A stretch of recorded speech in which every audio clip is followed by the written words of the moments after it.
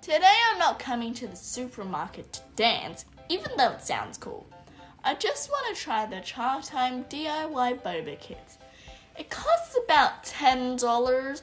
I also bought Chatime tea shaker for $15, which is made of cheap plastic, looks tacky and overpriced. The kit looks standard.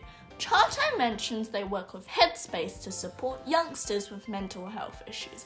Now back to the tea! It includes four tea mixes and popping pearls with flavors. I get the tea mix and pour the boiling water in.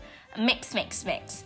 Add ice to shaker, pour the tea in, close the lid, and shake. This is the most satisfying bit, like a bobarista. Add as many popping powders and syrup as you desire. Refrigerate the remaining powders and syrup and enjoy. Ah, refreshing.